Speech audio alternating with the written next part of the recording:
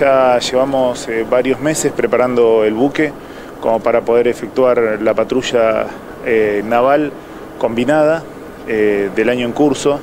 Es una tarea que se viene realizando durante todo el año y a esta altura ya estamos con los últimos detalles. Precisamente, bueno, ¿qué, qué tipo de actividades se están llevando a cabo en las horas previas de zarpar? Estamos realizando las últimas cargas de víveres, eh, eh, víveres secos, víveres frescos y ya mm, estamos ultimando los detalles de presentación, trincado de la embarcación y cada persona ya está efectuando el encendido de los equipos eh, fundamentales para poder efectuar la navegación.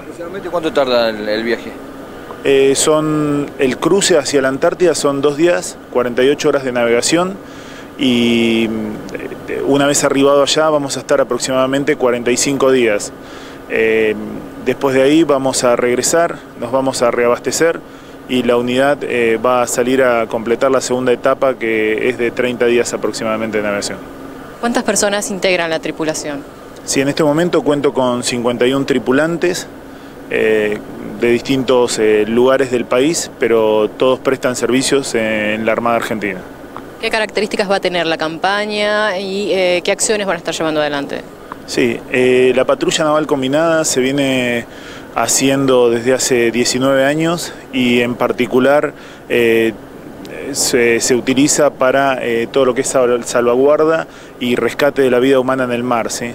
Así también como eh, se actúa eh, bajo algún derrame de combustible o, alguna catástrofe que se produzca eh, con algún buque dentro de la Antártida. ¿Cuánto años tiene la embarcación? La, embarcación tiene 25 años, fue adquirida a la Federación Rusa y en el año 2015, el 5 de diciembre, se incorporó a la Armada Argentina. ¿Se va a estar realizando algún tipo de ejercicio, de entrenamiento? Sí, sí, por supuesto, lo venimos realizando durante todo el año, adiestrándonos para estar listos para poder cumplir con nuestra función y en particular al, arribar a la Antártida, cuando hagamos el cambio de la guardia con el buque Lautaro, que es un aviso de la Armada de Chile, se efectúa un ejercicio previo y posterior a él eh, damos inicio a nuestra etapa de la campaña.